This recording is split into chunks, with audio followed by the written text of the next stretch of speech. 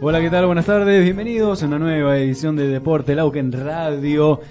Como cada, como cada día, como cada lunes, como cada inicio de semana, aquí de 5 a 6 de la tarde con toda la información deportiva y como cada lunes, hoy intentaremos eh, meter en esta horita de programa toda la información deportiva que tenemos, porque por suerte eh, y gracias a a que el COVID ha bajado bastante, a la vacunación, al cuidado.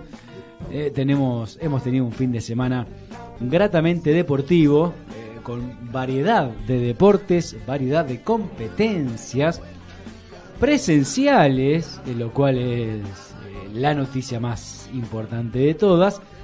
Y, y, por eso es que durante esta horita intentaremos, no va a entrar todo lo que tenemos para esta hora, tenemos toda la semana igual para para seguir entreteniéndolos a ustedes, escuchando los comentarios, eh, repasando las noticias.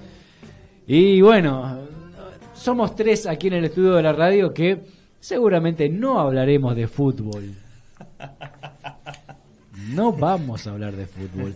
Es un programa muy democrático este, totalmente democrático, lo cual hemos decidido mientras le doy al enter, no hablar de fútbol en el día de hoy. Quizás mañana. ¿Qué tal? Buenas tardes, Rubén Islas. A Pali Sosa en los controles. Rubén, ¿qué tal? Buenas tardes. Muy buenas tardes. Sí, la verdad que es cierto. me llegó me llegó recién una broma, pero está tan buena que la voy a leer. Eh, sí, hubo unas cuantas buenas. hubo unas cuantas, pero bueno, la última clausuraron el estadio de River. ¿Por qué? Dice que estaba inhabilitado para el baile. es que Vi poquito, eh, porque entre que volví de, del Duatrón me tuve que sentar a trabajar para escribir todo para el diario, me fui a sacar una foto del partido del Clásico de Ferro, y, después hasta que terminó el otro partido de, Primera División, puse el partido de Boca River ahí en la tele para escucharlo más que nada, y, y lo poquito que vi era, era River, ¿no? Era River. Sí, yo lo escuché por radio. Era River solamente. Pero sí, sí. O sea, eh, a partir del momento que lo echan a, Rojo, no, hubo partido, no, no, no hubo posibilidad. O sea, simplemente Boca lo que intentó es aguantar y que no le metieran más goles. Claro. Y después, bueno, termina en el, en el tiempo adicional. Bueno, 2 a 0 venía River. En el tiempo adicional termina descontando Boca, pero no hubo tiempo para más. Que bueno, ahí hubiera. Porque a la larga, más allá de los resultados, uno quiere ver un partido. Sí. Eh, y, y bueno, cinco minutos más, diez minutos más por lo menos, le hubiera dado eh, eh, esa dinámica que en el cual uno está, está atento, ¿no? Acá por lo menos, bueno, está bien, River festejó y a lo grande, los de Boca hoy están calladitos, ¿no? Pero lo que, lo que vi del partido... No me pareció tampoco un mal partido, ¿no? Eh, no era un partido de esos clásicos chatos. Estaba un poco de ida y vuelta. En el segundo tiempo, donde justamente Bataglia hace algunos cambios como para más que nada no, no sufrir más goles, no quizás ir a buscar más el partido, pero no, sufrir más goles. Ahí estaba un Boca intentando recuperar la pelota y un River jugando cómodamente. Sí, no, no, hubo, no hubo tampoco tantas situaciones de goles. Eh, de Boca prácticamente. No pateó el arco, Boca, es el dato que me, el dato que me dieron es que Boca no pateó arco. Sí, sí, bueno, eso siempre se, exagera un poco, alguna hubo, sí, sí, hubo Es muy, es muy complicado meter un gol si uno no patea el arco. Pero bueno, también, eh, eh, bueno, hay un tiro en el palo de River también, así que digamos, la realidad es que si vos miras uno todo general, pareciera como que, River tendría que haber ganado todavía por más diferencia. Claro. Termina siendo un 2 a 1 que termina siendo pijotero, que es lo que va a quedar en, en, la historia. Quedará en la historia. Pero bueno, sí, realmente, bueno, River sabemos que juega bien, si encima con un jugador más River o un jugador menos Boca, Boca. culpa de Boca, eh, bueno, eh, ya es, es complicado. Ahora, el primer gol de River. Es rarísimo es muy raro, ¿no? Rarísimo, sí. Yo no le quiero echar la culpa al arquero de Boca, ya demasiado que estar en el arco, pero... No sé, o era una pelota con mucha comba con el cual lo queda, queda descolocado. me pareció muy ¿Eh? extraño, porque... Sí, sí. El, arquero, hasta, hasta, como que salta hacia atrás en vez con las manos para arriba. No era un. Eh, lo sorprende también el arquero, seguramente. lo debe sorprender, pero además se me ocurre, no vi ninguna ningún, ninguna imagen donde por ahí fuera en línea recta la pelota para ver si iba con comba o algo que, Porque si no es rarísimo, realmente es raro porque todavía no va tan digamos, esa pelota que vos decís, bueno, después la colgaron en el ángulo. Se no, terminó, no, va al medio del arco la sí, pelota sí, casi. sí, sí. Va al medio del arco. eh. En el segundo le echamos las culpas, pero en el segundo creo que no, no hubo mucho. Un centro y el No, otro en el, quizás en el área chica le toca, listo. ya no Echarle la culpa en el segundo, estoy intentándome acordar cómo inicia la jugada, pero me parece que es él el que saca del arco y, Ah, y- y patea mal, No, pensé diríamos. que está bien, tenés razón. La deja corta. El error es por sacar eh, del área, no, Pero- no por el gol en sí, está bien. claro. Perfecto. Puede llegar a venir de ahí. Pero, Sí, sí, bueno. porque después en sí el gol, no, no. Después hubo 5 o 6 pases que también podría haber cortado a alguien en la jugada. Tampoco echarle toda la culpa al arco. Creo que también es mucho más mérito de la- el ataque de River. Ah, nada, sí, la jugada Claro. estuvo, estuvo bien trabajada. Sí. Eh, dos noticias cortitas antes de Bien, arrancar. pero y antes Sí. de terminar el, el River Boca, ¿alguien acertó? Eh, el, el- el apuesto. mirá, la, lo- la apuesta, diríamos. En, en principio, eh, Pali dijo eh, 2-1, o sea que en el número está, pero invertido. Claro, dijo- ¿sí? Había pensado que Boca ganando 2-1. Es el único que al menos. Hubo uno que estuvo cerca, me parece. Después tenemos a David que había puesto 2 a 0. El último gol en el tiempo 2 a 0 adicional- para River había puesto. para David, River, claro. en el último gol, el tiempo adicional lo saca de, de ganar, digamos, de hacer eh, de hacer un pleno. ¿Sí? No, no, no, no ganó cerca, nadie por, por lo visto.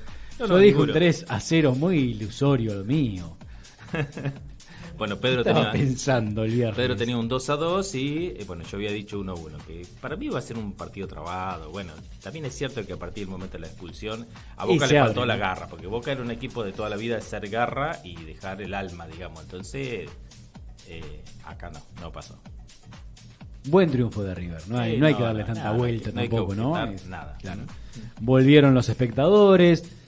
Había Mucha bastante gente. gente en la cancha, ¿no? Sí, dicen que de más. Claro. Así que ahí andaban haciendo una actita. Y bueno, a, a ojo de buen cubero, como quien dice, uno ve las tribunas y Se veía, pero colmada. La, es que uno puede estar contando, decir que hay el 70%, el Pero 82%. ¿Viste cómo, cómo es el argentino? ¿sí? Si te dicen 10, vos vas a meter 20. Y demás, entonces el límite está como para. Sí, mira, está el límite acá, pero acordate que va a ir un 20% más, un 30%. Entonces, así se maneja. Sí, y, y seguramente muchos de estos que, que quizás se están quejando de que entraron más del 70%, son los que quizás el viernes decían, eh, solamente el 70% puede Claro, entrar. y sí, No seguro. bueno, ahora no. Como que no hay mucha vuelta. Pero en Trenclau que no hubo mucha actividad deportiva. ¿Qué tenías para.? No, para- más que nada, bueno, eh, eh, creo que ya es eh, Vox Populi, pero bueno, falleció Acero Cali Así el día es. domingo. Esto fue en Santa Rosa, acá cerquita. Habían ido a una velada el día. Habían estado desde el viernes, el día sábado.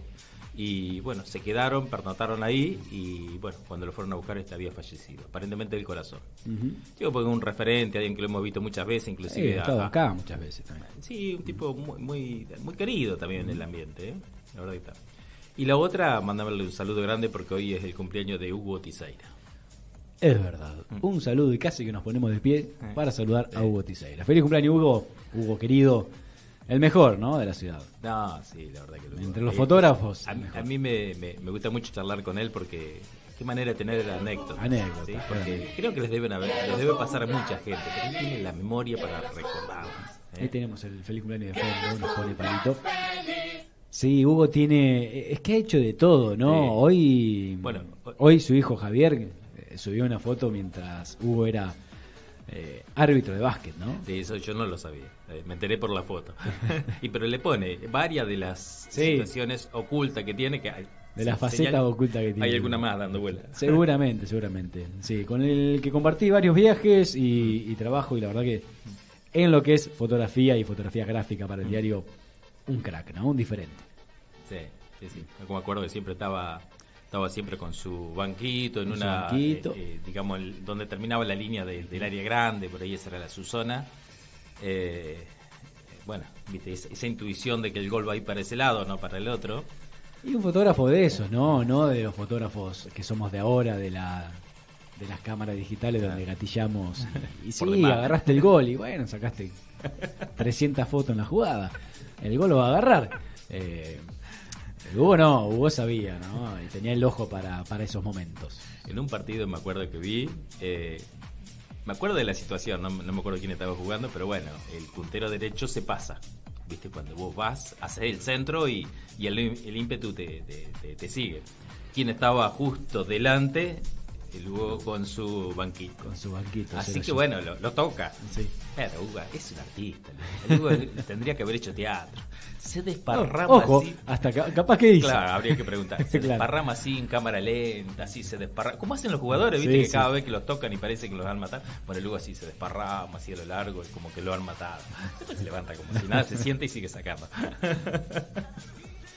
Es que es un riesgo el cuando uno está muy cerquita de la línea, el pelotazo, pero bueno, llevarte algún que un jugador te, lleve puesto muy. Me acuerdo de alguna, algún, revista, algún chiste gráfico de con la cámara, el dibujo todavía, los flashes esos grandes. Los flashes grandes. Hablando de las cámaras grandes, estoy hablando de un chiste que simula unos años antes, bastante años atrás. Y entonces le pregunta, eh, ¿sacaste el, penal desviado? Y se ve toda la cámara desarmada, viste que le ha pedido un pelotazo. bueno, eh, creo que contamos este año en los Juegos Olímpicos que una en uno de los partidos de, de volei, una, una jugadora, un jugador salió a buscar una pelota del volei cuando se va hacia afuera con mucho ímpetu y se lleva puesto un camarógrafo y después la, la foto hacia la cámara como había quedado partido el lente, partido el cuerpo encima de bueno la cámara de hora. Sí, ¿cuánta plata se fue ahí? Muchísima, no, millones, pero son los riesgos. Bueno, que estén aseguradas. Pedro Mestre cuenta también que también había ido a transmitir y eh, quedaba como una cierta distancia de, la ventana abierta y la pelota pasa justito. ¿sí? Y bueno, rompe la cámara. Estaba filmando y rompió la cámara. Así que bueno, dice, bueno, juntamos plata y volvimos a comprar otra. Es que no, no hay mucha más vuelta que darle. Es así. Y ayer hubo, como para empezar a armar un poco el programa del día de hoy, para repasar la agenda de lo que tendremos este fin de semana. Hubo clásico aquí en que ¿no? Este ferro argentino. Mucha cantidad de gente. Pasé por la ruta, impresionante. Además, la cantidad de auto afuera también. La cantidad de auto afuera. Yo me fui unos minutos para sacar fotos, entré, saqué fotos. Había gente, pero por todos lados. Me encontré con mucha gente que había estado en el Duatrón, digamos. Ah, Hicieron Duatrón y después. Y claro, les quedó de pechito. Y después Ferro y Argentino, un clásico, bueno, ya dos años para, para jugar este clásico y y con, con empate en dos se le escapó, ¿no? Se le escapó a, al ferroviario. El, claro, se le escapó porque iba 2 a 1 y todavía. Eh, bueno, en realidad iban 1 a 1. Argentino eh, le echan un jugador en principio. En el complemento, al arranque del segundo tiempo, ¿no? Se pone 2 a 1 y ya parecía que lo liquidaba. Eh, como River Boca. Nada más que acá Argentino lo logra empatar. Lo logra empatar eh, a los 48, me parece que fue el complemento. Arriba lo, lo, empata. Sí, que termina empatándolo y bueno, un empate en dos, pero partidito mm. chivo, trabadito, peleado. Sí, sí, sí, hubo durante, más expulsado también. Durante toda la, todo el partido, con bueno una jornada más que agradable, ventosa en la ciudad, mm. pero con un clásico, insisto, no lleno de gente. Mm. Eh, y creo que cuando volvía del Duatrón y vi tan, tan lleno la, cancha, digo, más allá de que es el clásico, creo que también la gente, porque antes no iba la gente al fútbol, ¿no? Sea clásico o no sea clásico. No, porque ha habido gente en todas las canchas, o sea, la verdad que... La, crítica siempre al, al, fútbol tranquilauquense es que la gente no, no va a las canchas, si siempre se comparaba con la de Tres Lomas, la Liga Cultural Deportiva, todos los partidos estadio lleno. Acá era muy complicado, lo sumo algún torneo del interior, pero si no, creo que quizás la gente se dio cuenta de esto, ¿no? De las cosas que, que se perdieron con, con la pandemia, con el COVID, de estos dos años de, pandemia, de no ir a ningún lado, de darle importancia a esto, ¿no? Y, allá la cancha estaba llena eh, de adolescentes, de gente grande, de, todas las ciudades y todas las canchas, no solamente justamente que jugaba Ferro Argentino del Clásico. También en el dúo mucha cantidad de gente. La verdad que a mí me sorprendió, porque también había buena inscripción, realmente muy buena inscripción. También eso es llamativo, la cantidad de, bicicleta que había, que es donde más uno presta atención, porque los atletas los ves corriendo, calentando por acá, por allá, ves mucho movimiento, pero cuando ves el parque de ciclismo era, impresionante. Es que es un deporte, una competencia, el duatlón, y más que nada cuando se hace en equipo, que permite, ¿no? Permite el, el aquel que hace Rural Bike por, por de manera amateur, por su cuenta, se arma un equipo con otro que corre por su cuenta, que son amigos, y es a divertirse. Después tenía un grupito fuerte ¿no? del ciclismo porque si repasabas el parque cerrado, había unas naves que madre mía, ¿no? Bicicletas de altísimo nivel, nivel deportivo, nivel económico, ¿no? Bicicletas muy buenas, pero arriba de esa bicicleta también personajes que andan muy bien en bicicleta y más para este tipo de, de camino de tierra gente acompañó un montón. Recordemos que, bueno, dos actividades, tanto el, Rural Bike como el, corredor de calle, que en esta pandemia fueron los que realmente pudieron seguir entrenando, participando en, las virtuales. Eh, así que bueno, supongo que es algo que ha, aumentado el, número de, participantes. Y la cantidad de bicicletas que se han vendido, ¿no? Se vendieron durante estos dos años muchísimas bicicletas aquí en la ciudad que han comprado, diríamos. Muchos se han volcado al a andar en bicicleta de manera recreativa. Y el duatrón permite esto, no es una distancia larga, en trote es una distancia corta, porque son 3 kilómetros, después otros 3 kilómetros más. Por eso es que se vio muchísima cantidad de, equipos, muchos individuales, los menos, no hubo tantos, tantos individuales, a, pesar de que no era un, un dúa tan largo, ¿no? Era, era accesible Ahora mirando, mirando dentro de lo que había, porque lo que había era bueno también, ¿no? era bueno. lugar era bueno. Qué, qué, bárbaro el hecho de Darricó, porque ahí uno, ahí uno ve eh, su nivel. Sí. Porque en la primera pasada, digamos, cuando habían corrido, no sé, eh, mil, mil metros, eh, viene encabezando. Está ahí en el grupito del pelotón de, punta. Sí, Lechu llega... llega las competencias estuvo, estuvo ahí. Lechu llega en la parte de, de pedetrismo segundo, ¿no? Detrás de Marquito Gómez. Claro. Llega Lechu a 30 metros, no mucho más, de 10, 12 segundos después creo que llegó y, Marquito Perna. Pero después también lo que hay para destacar que es alguien que hace poquito se está tirando lo que es el, el duatrón y hasta el triatrón, que es Jonathan Agrasar, que estuvo aquí. Sí. Johnny no, no es un corredor, es muy buen ciclista y que seguramente es el mm. mejor ciclista de todos los que estuvieron ayer. Mm. En la parte de pedetrismo, él lo hizo individual. La parte de pedetrismo corrió bastante bien. En la parte de ciclismo alcanzó a todos. Llegó junto, es mejor dicho, llegó adelante del Lechu de Ricó. Después de los últimos 3.000 metros, el Lechu corre muchísimo más, por supuesto, ¿no? Que, que Johnny Agrasar. Pero bueno, dos amigos, dos que han corrido juntos en, Rural Bike, en compañero de equipo, que se ayudan, que colaboran. Eh, también un crecimiento importante para un Johnny Agrasar, que le estará faltando mejorar un poco más en la, natación. Correr corre muy fuerte, porque corre muy fuerte, lo que pasa es que Lechu es otro nivel. Corre muchísimo más. En bicicleta está demostrado que Johnny está andando mucho más fuerte que el propio Darricó. Una carrera de altísimo nivel. ¿Qué tuvo sus perlitas, Rubén? Eh, tuvo, sí, algunas. Eh, igual yo lo que decía que comparando a, bueno, ahora también incorporamos a los dos, comparado con los equipos. Sí, había muy buen muy buen nivel. Había muy buen nivel. Sí, sí. Muy buen nivel. Y que llegan muy cerquita del equipo ganador, por ejemplo. Sí. Sí, bueno, el 1-2 eh, llega de un lugar distinto. fue muy raro, ¿eh? Yo he recibido entre ayer y hoy comentarios, pero bueno. El balance general es excelente. Excelente, ¿no? o sea, arranquemos por ahí, listo. Fue bárbaro, convocaron muchísima cantidad de gente, fue una carrera recontra entretenida para que la persona que estaba afuera vio pasar por todos lados. Bien organizada. O sea, listo, arranquemos por ahí. Bueno, después sí, si nos metemos al detalle, tenemos algunas cositas, pero eh, eh, es que el circuito era, en cierto modo era complejo, eh, difícil de entender porque bueno, a varias personas les dije cómo era el circuito, todos me hablaban, cada uno me hablaba de una manera distinta, difícil de interpretar. así que bueno, la parte de pedestrismo la primera bien, la parte de ciclismo creo que bien. Bien. Y después, en la última etapa de, pedestrismo, nos encontramos que aparece Marquitos Perna, Marco, ¿no? Marcos, Pernas. que, que, viene de un lugar del cual no lo esperaba nadie. Y atrás César, Pablo, los dos. También. Man, a, Marquito le digo, bueno, eh, hacé de vuelta que llegás para sacarte una foto, porque nadie le sacó foto, nadie lo vio, simplemente porque si me acordás llegó. Y ahí me quedé, ah, entonces vienen de otro lado. Me volví a cambiar para sacar una foto. Y ya llegó el lechudo rico del lugar que correspondía. ¿sí?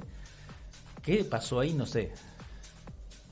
Es, eh, yo tengo varios comentarios, eh, también de, uno de los corredores, que de justamente César Pablos. Desde el punto de vista del corredor, porque yo ayer corrí, lo disfruté, en la charla previa, el recorrido estaba clarísimo, ¿no? Una vuelta de pedetrismo, sí. la parte de ciclismo, y después la misma vuelta de pedetrismo. No hay cambios. No hay cambios. ¿Qué es lo que ocurrió? Y aquí es donde ayer, porque no todos quedaron contentos, ¿no? Hay muchos atletas que no estuvieron de acuerdo con que a estos dos atletas se le den el premio igual. Siempre es la palabra de uno con la palabra del otro. Supuestamente cuando Marcos Perna y César Palo vienen por la calle de tierra, que tenían que seguir de hecho hasta lo que es eh, El, monumento, la rotonda, el monumento del deporte, un banderillero o una moto le dice que tienen que doblar y meterse hacia el club ciclista por el camino que hicieron las bicicletas. O sea, la costumbre de, derivar. De derivar. Insisto, ¿no? Me decían, es la palabra que dijo uno de los atletas que supuestamente dijo. Sí, sí. No se sabe. También es verdad, o los que también me comentaron, que tercero y cuarto dijeron no. Claro. El recorrido no es ese. Claro. Tenemos que seguir derecho. Bueno, pero el que venía atrás era el Lechu de Arricó, que el Lechu de Arricó tenía recontra claro el circuito eso, pero, todos teníamos recontra claro el circuito, porque Marcos Perna ya lo había hecho y César Pablo ya habían hecho el circuito. Claro. Ah, está bien, está bien. Todos habían corrido la primera vuelta. Por eso, este, desde la organización se decide no descalificar a los chicos porque habían sacado diferencia en referencia al tercero y al cuarto y al resto, ¿no? Pero es una carrera que faltaban 500 metros todavía por terminar. Insisto, eh, no pasa nada, acá no hay plata en juego, creo que si hubiese habido plata en juego se cambia mucho, pero también no es la primera vez que en este tipo de duatrones siempre hay alguien que se equivoca el recorrido, siempre hay alguien que da una vuelta menos, siempre pasan estas cosas, ¿no?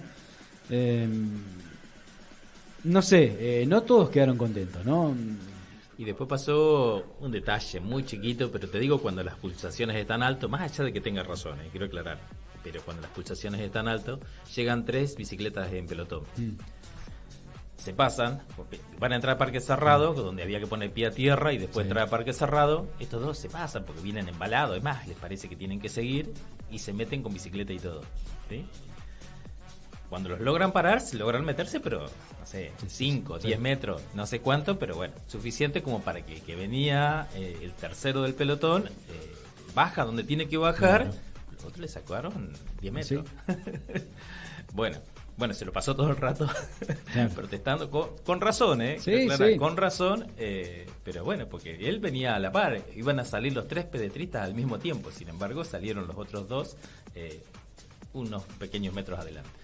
Sí, creo que, mm, insisto, hay muchas cosas para mejorar. es muy difícil desde la persona que estaba ahí pararlo, porque no, venían embalados como eh, para seguir una vuelta más. Creo que mm, la, única, la única que te queda es, eh, creo, en esta situación un recargo de tiempo, porque no hay otra manera porque ya era imposible frenarlos. Es imposible y, si no, mm, pasa que ya, donde tenés tanta cantidad de gente y de bicicleta, el parque cerrado, porque recordemos que es es parque cerrado, pero además eh, eh, es donde llegan las bicicletas, están los atletas. Está todo medio junto, ¿no? Eh, y, al haber tantos competidores, uno se chocaba, había gente que salía corriendo y tenía que estar esquivando otros que estaban ahí. Sí, la gente se quedó charlando. Sí, es un, es un, yo estaba con competencia muy amateur. Yo estaba con la cámara varias veces y varias veces dije, muchachos, hay gente en competencia. Y bueno, ahí se movían, pero me daba vuelta para sacar foto y ya tenía otro grupo de 5 o 6 charlando y justo era la salida. Y tenés que hacer la, salida. Eh, es complejo, ¿no? Cuando empezás a meter cada vez más gente, se complica mucho más. Ah. Y hay que dividirlo mucho más, hacer bien el, desmonte en un lado, que venga el, corredor, el ciclista, mm. deja la bicicleta trotando y que el atleta está en otro sector, porque ya el atleta también se iba, se adelantaba. Pero sí, son cosas que al tener mayor cantidad de, deportistas se empiezan a ir un poco de la mano para una organización chica, ¿no? El Club mm. Ciclista, Federico Loza trabajando muy bien, Marcos Carosio, le pusieron el hombro a una, a una competencia de altísimo nivel. No, no, además, yo, yo lo rescato que más allá que esto que armaron de, de tres vueltas en bicicleta, de dos eh, a pie, eh, no, una pie, perdón. Una pie. lo que pasa es que veías la pasada de enfrente. eh, eh, generó que continuamente hubiera gente en carrera. Entonces, Siempre había estaba mirando, estaba mirando, estuvo. ¿sí? está bueno. Eh, así que bueno, mantengamos esto, ¿sí? Desde, afuera, sí, muy bien, muy bien. Lo otro detalle a mejorar. Hemos hablado bastante, no tiramos ningún resultado, pero 5 de la tarde, 26 minutos, eh, tanda comercial y a la vuelta eh, repasamos a ver quiénes fueron los mejores, ¿no? De este duatlón del Club Ciclista.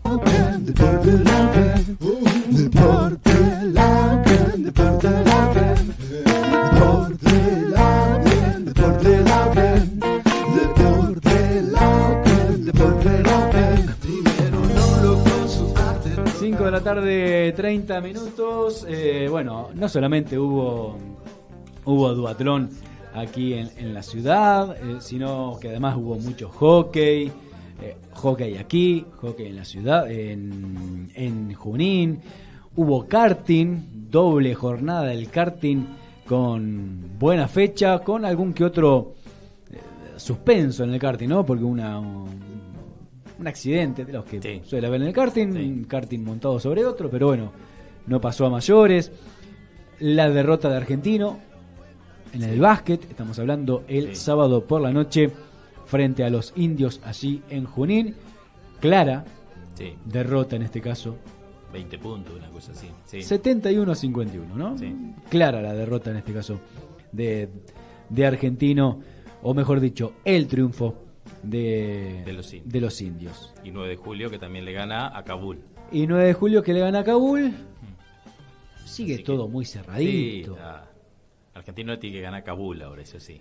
Y Argentino que juega de local frente a Kabul. Jugaría el viernes, me, me dijo mi compañero, nuestro compañero David Díaz, también atleta de este duatlón. Sí, no hemos nombrado, hablamos mucho del duatlón, pero no hablamos de la participación de los, de los dos. Ahora vamos a, dar repaso a resultados. David se lo vio muy contento cuando llegó. David estaba impecable. Eh, llegó y festejó. Eh, ni cómo metido el gol de River así. ¿Cómo no va a festejar? Corriste un duatlón, claro. Lo que pasa es que David venía perdiendo 3 a 1 en el fútbol y empata 3 a 3. así que estaba enloquecido. Estaba con sus Vélez que había logrado. A... Un fin de semana perfecto. hizo un empate sobre el eh, adicional, del tiempo adicional y, después se mandó un duatlón así. Bárbaro. Tremendo duatlón para, para David Díaz, el mejor de esta radio. En Individual. Claro, tenemos el mejor individual y el mejor, mixto. El mejor mixto. Menos mal que nadie más hace ¿Cómo, nada. ¿Cómo salieron las filmaciones? Porque impecable. Ah, bien. A las primeras un poquito ahí, ¿cuáles? ¿La de no, usted? No, no, no, suyas. Ah, no, sí, alguna un poquito ahí media fuera de foco, pero después la camarógrafa la encontró. Ah, pues José, José dejó, porque claro, ese es el problema. ese es el problema. Quería hacer filmaciones, pero tenía que correr. entonces, ¿cómo hacía? no tengo una GoPro. Eh, cuando me compro una GoPro voy a correr con la GoPro en la mano, entonces uno va saludando a los corredores, va volando y se pone más lindo, pero hay que dejar la cámara en manos de alguien. Claro, sí, sí. Un poquito fuera de foco primero, pero después le encontró la vuelta, que era apretar el botoncito como para que enfoque, haga un pre-enfoque y, y salga todo bien. Pero bueno, ya subí un videito a YouTube, armé un poco el video ayer para pasar todas y, y que queden todos contentos. Sí, sí, porque está todo. Yo al de usted lo vi por Cablevisión, muy lindo. Ah, sí, por Cablevisión salió impecable. Gracias a la gente de Cablevisión por pasar nuestros videos. Y después pasaron fútbol también. ¿También de usted? Eh, no mío, pero el que filmó Pedro y David. Qué bien. Eh, el, partido que ellos tuvieron el día sábado, transmitiendo el partido de Giat, no, la Guasquita, la Guasquita Barrio Alegre. Así bueno, también dieron los resultados del fútbol pasando las imágenes de, del video que salió en directo por YouTube eh, de Deporte Lauque. Muy bien. Los felicito por el trabajo que le hacen al resto de, de los medios.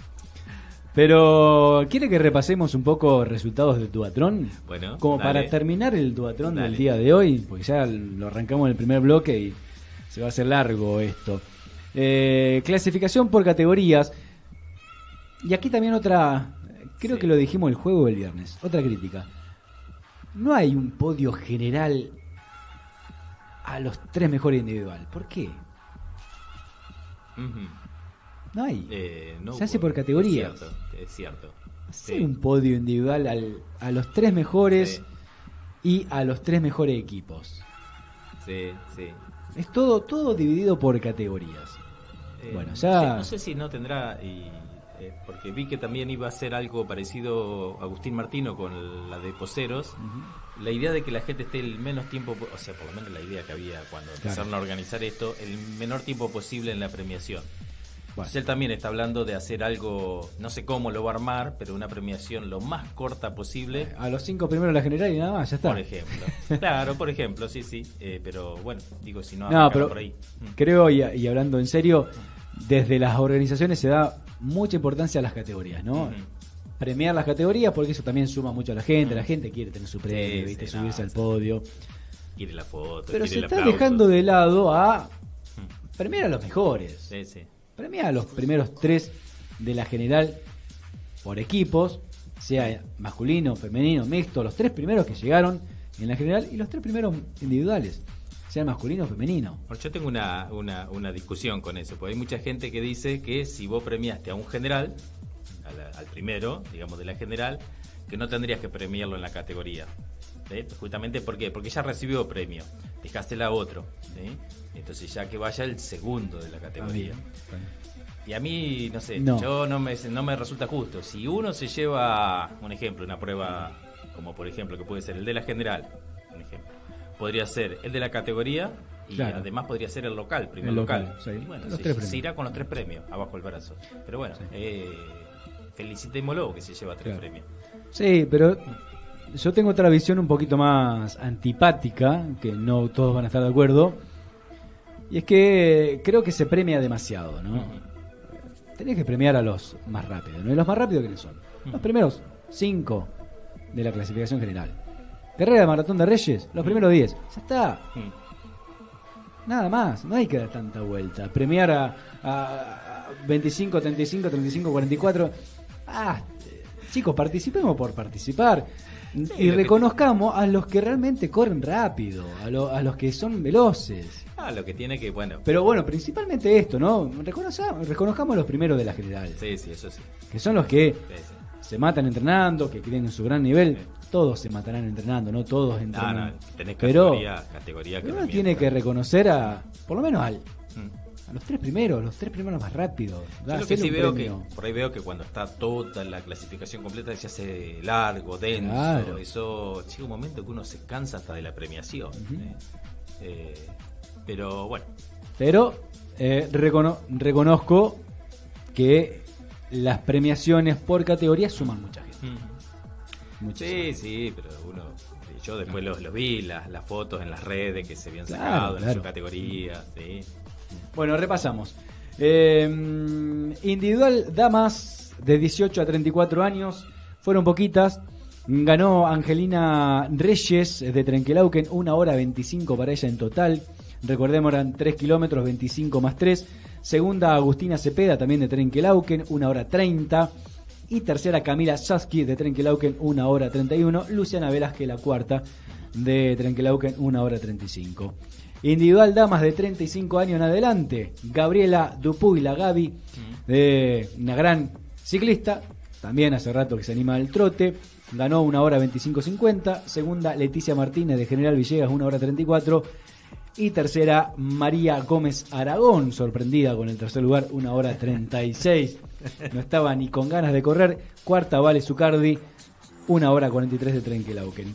Con respecto a los caballeros individual de 18 a 39, el ganador Jonathan Agrazar, una hora 07 para él. Tremendo el tiempo. Segundo, Mauro Vidal de América, una hora 18.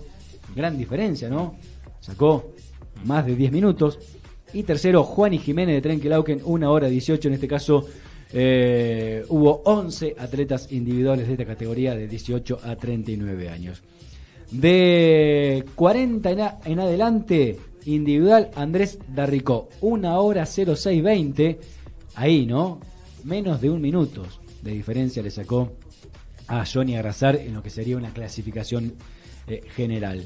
Segundo, José Pasten de General Villegas, una hora 11. Y tercero, Ezequiel Godelman de General Villegas, una hora 13. En este caso, masculino de 40 en adelante participaron en total por lo menos eh, unos cuantos, 23, 22. El vigésimo tercero no, no llegó. Categoría por equipos, en este caso femenino, posta femenina, más de 70 años, se sumaban las edades, Nati Velázquez y Mariela Araujo, la beba, madre e hija, ganaron la categoría, una hora 19.30. Segundo, Cristina Cervera y Adriana Larraudé, una hora 33.40. Y tercero, eh, Amelia Rosa y Sara Holstein de Trenkelauken, una hora 41.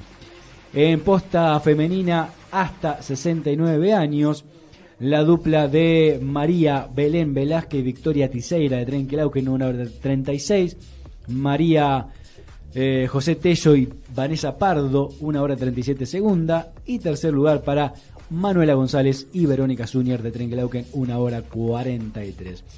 En categoría posta masculina hasta 69 años, la dupla ganadora y la mejor dupla del torneo, del Duatrón, de Lucas Perna y Marcos Perna, digo bien, y Lucas Medero, los chicos de Tres Lomas, una hora 3.20. César Pablos y Gabriel Virsolí de Trenklauken, una hora 3.40. Y tercero, Lucio Barragán y Agustín Álvarez, una hora 7.30. Recordemos ya, a partir de acá, corrieron estos 500 metros más, ¿no? Que son casi dos minutos más de diferencia. Con respecto, hubo 19 equipos en esta categoría. Recordemos que quien venía liderando la competencia, Alejandro García, el de 30 de agosto, junto con Marco Gómez Kirchner, debió abandonar porque Alejandro García pinchó cubierta cuando lideraba la prueba y era claro ganador, diríamos, si no pasaba nada raro. Pasó algo que no es raro, porque en el ciclismo son cosas que pueden pasar, ¿no? En posta masculina de 70 a 90 años, ganó Armando Benguria junto a Lucio Díaz, una hora 7, Diego Cervera y Martín Cervera, una hora 10, Gonzalo Vilches, mirá, y Carlito Campelo, una hora 11, subido al podio la gente de Barrio Alegre. Allí, eh, cuarto para alguien que estuvo aquí, Fabián Luna y Pablo Larroque. Que dijo, no sé si el médico me autoriza, pero yo quiero. Ahí estuvo casi en el podio, una hora 12 para ellos. En cuanto a posta masculina de 90 años en adelante, los Velázquez, Víctor y Rodolfo, mm. una hora 15.30. Segundo lugar para Pablo Bucetti y Cepe Amore, una hora 15.40. Y tercer, Abel Gómez, el eterno Abel Gómez y Romero y Emilio Romero, una hora 17 también de Trenkelauken. Em, con respecto a la posta mixta hasta 69 años, se impuso Lucas Baseli y Andrea Changazo, los de Trenkelauken, 1 hora 08. Segundo, Liz Romero y Ezequiel Rantuche de Carué, 1 hora 16. Y tercera, Romina Mandrini y Ricardo Mazzolo, 1 hora 24. Posta mixta de 70 a 90 años, Julieta Simadamore y el Messi Hernán Sataraín, tremendo equipo este, 1 hora 13. Segunda de Tres Lomas, Salva Betina y Sebastián Godoy con una hora 18. Y tercero, eh, Pamela Araneo y Ramón Amador también de Trenkelauken, una hora 18.20. En esta categoría, sexto lugar quedé en la categoría Rubén. No estuvo eh. tan mal. Una buena dupla hicimos con Guadalupe Tiseira. No lo escuché a David. Ahora la ah. vamos a tirar, eh, vamos a terminar de repasar el individual. Y por último, posta mixta hasta de 90 años en adelante. Eh, Cosi Jiménez y Soledad Gauna, una hora 16. Ana García y Miguel Márquez, una hora 22. María Roja y Marcelo Araujo, una hora 24. Eh, fue una de las categorías más fuertes, la de individuales, em, aquellos hombres que se animaron a correr la categoría individual, donde había que luchar contra los muchachos más rápidos del certamen, entre ellos Jonathan Agrasar. Y nuestro compañero de trabajo, David Díaz, octavo puesto en la clasificación de 18 a 39 años, una hora 34-40 para David. Perfecto, ¿no? En total 11 los que participaron, una gran carrera. Ezequiel Corea, el profe, le terminó ganando, mire, por poco, pero le ganó. Lo habrá dejado pasar el pro. Lo dejó pasar seguramente. bueno, hoy, lo podemos cargar a David, porque total no puede contestarnos por WhatsApp. Es verdad. Eh, recordemos WhatsApp está caído. ¿Qué pasa con, con WhatsApp? Claro.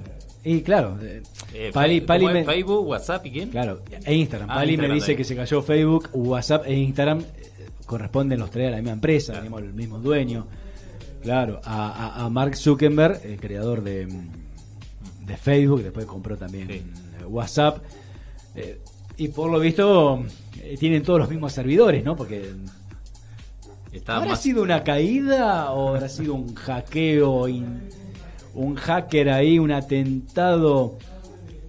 No, y por supuesto, acá hay mucha, mucha plata en juego más o menos después del mediodía, por ahí se cayó y, bueno, varios mensajes tengo que mandé que no han salido. y, bueno, y tenía alguna respuesta que no llegaron nunca. Yo me estaba sintiendo desamparado, digo, ya nadie me quiere, no me manda nadie un mensaje. No suena el celular, ¿qué pasa? ¿Para qué tengo un celular si no nadie me manda mensaje? Uno entra a Facebook y ve las imágenes y quiere ampliarlo, quiere ampliar la información y no, ves nada más que la preview. Nada. 5 de la tarde, 44 minutos, lo que no se cae es Deporte Loco en Radio. Pausa.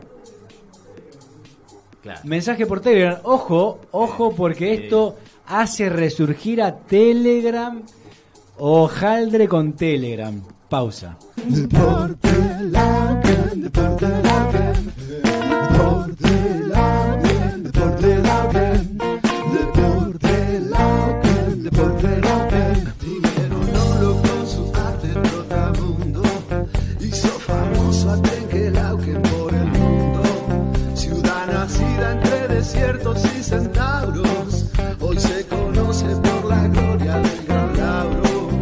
5 de la tarde, 50 minutos, y vamos a hablar un poco de fútbol, Rubén, fútbol local. Sí, bueno, se jugó la segunda fecha. Eh, comenzó el día sábado. El primer partido, o bueno, uno de los partidos que se jugó fue en cancha de Las Huasquitas, donde La Huasquita perdió 2 a 0 con Barrio Alegre. Los goles a los 4 minutos del segundo tiempo, Facundo Suárez y el segundo para Barrio Alegre a las 32 por Emiliano Márquez. Un histórico, ¿no? Emiliano Márquez, vos sabés que yo quiero contar, el sábado me fui a tirar con el arco. Cuando vuelvo, bueno, ponen en el grupo que Deportelauquen estaba transmitiendo ese partido. Entonces, bueno, entré a casa mientras preparaba el mate, me metí a verlo, a verlo por YouTube. Y lo primero que veo, Emiliano Márquez jugando. Digo, Emiliano todavía. Un. Y termina haciendo un gol. Claro. Bueno, el otro partido fue Huracán 3, Atlético Trenquelauquen 1. Los goles fueron a los 20 minutos del primer tiempo Agustín Baseli, hijo. A los 14 minutos también del segundo tiempo Manuel Moralejo.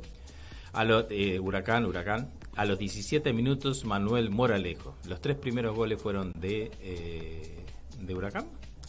Y a los 47 descontó Fabiano Moroso para Atlético. Partido que se jugó sábado por la noche, recordemos. Sábado a la noche, exacto. 21 horas este partido. Aprovechando la, la, iluminación. Expulsado a los 38 minutos del segundo tiempo, Maximiliano Villegas. Maxi Villegas. Bueno, una, fecha con varios expulsados, ¿no? Sí, hubo varios. Ahora viene otra donde hubo un poquito más. Calentito el fin de semana. Bueno, el día domingo entonces se jugó el clásico en cancha de Ferro, como dijimos, con muchísima cantidad de público, donde Ferro y Argentino empataron 2 a 2. A los 6 minutos del primer tiempo, Nicolás Piro eh, fue el primer gol para Ferro. A los 8 minutos también, ahí cortito, 6 y 8 eh, del primer tiempo, Alexis Orozco para Argentino. A los 19 del segundo tiempo, Fabricio Maya se puso 2 a 1 para Ferro. A los 48, tiempo adicional de segundo tiempo, Juan Ciotti de Argentino puso el empate. Expulsado eh, Benjamín Orozco al minuto del segundo tiempo. Escuchaba justo un, el relato de esta radio donde decía que qué lástima, pero qué lástima que un jugador con tanto talento, pero que sea tan temperamental. Y que parecía que se le iba el partido argentino, así que más dolía. Eh, y a los 50 minutos, otro que también temperamental, eh, Franco Genarini. Franco Totó Genarini. Se le fue la patita, me parece a Totó. También, siempre el, eh, eh, también, un jugador. Un amigo de la casa, Totó. Monumental y Atlético Pellegrini empataron 0 a 0 sin goles y expulsado también en el segundo tiempo Marcos Caracoche. Las posiciones. Ah, recordemos que Giato estuvo libre, ¿no? Siempre va a haber un equipo libre al no estar progreso. Eh, encabezando eh, todos con. Sí. No. Eh, salvo Giat y Atlético Pellegrini, que están con un partido, ¿no? Hacemos esa, esa salvedad. Y los demás con dos partidos. Primero Barrio Alegre con seis puntos. Con cuatro puntos está Ferro, Carril Oeste y Argentino. Con tres, Huracán y Giat de Beruti. Con un punto Atlético Pellegrini y Monumental. Y todavía sin puntos, Las Guajitas, Atlético Trenquelauca. Recordemos, estamos hablando de primera de la segunda fecha de la Liga de Trenquelauca. ¿Cómo sigue? ¿Tenés Eh, eh, próxima fecha, la tercera? Sí, la tenemos, sí. A ver, a ver, ¿qué Tercera tenemos fecha. para ver? Atlético Pellegrini enfrenta a las Huasquitas. Bien. Barrio Alegre, Pellegrini. Barrio Alegre Ferro. El líder. Se enfrenta Barrio al líder con el segundo. Ferro, lindo partido. Fútbol Club. Transmisión de Deporte Lauken. Y no sabemos, sábado o domingo, ¿cuándo jugarán? Eh, no está aclarado. Bien. Pero, eh, ¿Qué, página mira usted? ahí? No, la verdad que esta página de Deporte Lauken, ¿cómo no va a poner el día y la hora? Claro. Fútbol Club Es que no se sabe eso. no se sabe. Teniendo en cuenta la Liga No- Trenquelauquense, no uno llegó- no sabe. no llegó el boletín. Claro, esperemos el boletín. No, hoy, hoy- hoy va a estar el boletín. Mañana, Claro. mañana va a estar esa Mañana. información. Fútbol Club Argentino va a enfrentar a Huracán de Pellegrini. Bien. Y Atlético Trenquelauken a Giat de Beruti. Libre, monumental. El Canario. El partido adelantado para el sábado será. ¿De qué estamos hablando de gusto? El partido adelantado para el sábado será Fútbol Club Argentino y Huracán. ¿Eh? Así que los demás partidos. Claro. Estamos hablando Atlético Pellegrini y Las Guaquitas. Eso se juega en Pellegrini. Esto es todo, todo domingo. Claro. Atlético Pellegrini, Las Guaquitas, Barrio Alegre, Ferrocarril Oeste y Atlético Trenquelauken, Giat de Beruti. Hay dos aquí en Trenquelauquen el domingo y uno en Pellegrini el día domingo. El partido adelantado es el del sábado. Así se había dicho, ¿no? Si, si había todos los partidos aquí en Trenquelauken, sí. Sí o sí tenía que haber dos el día sábado. Claro. Muy bien. Eh, bien el cana bien el celeste, digo, ¿no? Ajá. Dos partidos jugados. Dos partidos, dos ganados. Dos ganados. Y ahora tiene ahí un rival de Ey, peso. Ferro. Es Ferro. Es Ferro. Sí, son partidos. Pero te partido saca de de- encima Ferro y. Y te empezás a ilusionar. Claro. ¿eh? Viste que para ilusionarse uno no precisa mucho enseguida. No, por supuesto. y está bien que, que sea así. Y está muy bien. Vamos a completar un poco la información del básquet, ya que Argentino en la tarde, noche, noche de justamente el sábado cayó frente a los indios allí en Junín. Claro, triunfo de Junín, en este caso de los indios, 71-51. Nada que ver con aquel resultado de la segunda fecha donde los indios le ganan aquí a Argentino en Trenquelauquen por un par de puntos nada más, en un partido mucho más cerrado. Aquí fue claro ganador los indios. También por la otra zona 1, buen triunfo de 9 de julio de Junín sobre Kabul, jugando de visitante, 84 a 75. Ahí. Sí. no fue tanta la diferencia, pero un resultado claro para el equipo de, Junín, equipo 9 de julio. Por la zona 2, triunfo de Independiente de Sarte, eh, 75 a 64 frente a Comunicaciones de Pergamino. Eh, por la zona 3, Independiente de Tandil le ganó 84 a 63 a Alvarado. Y es Mata que, no, mejor dicho, Racing de la Barría le gana 90 a 74 a Esmata de Mar del Plata. Por la zona 4, Social de Alejandro Korn le ganó 77 a 66 a Gimnasia de Chivilcoy. Y el triunfo de Deportivo 80 a 76 a Platense.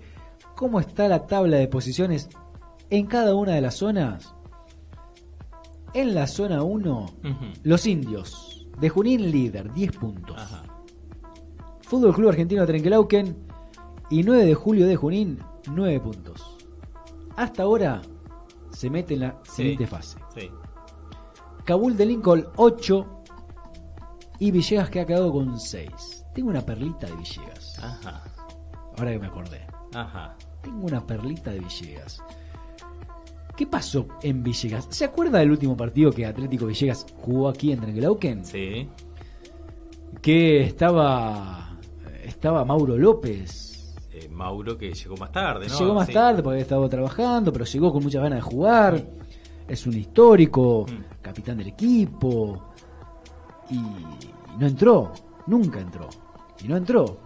Parece que hubo después Ajá.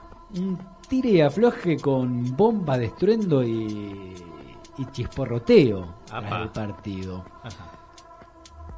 que no quedó todo muy claro. Lo cierto es que Escandolera, uno de los refuerzos y que había estado muy bajo ese día, dejó el equipo. Ah.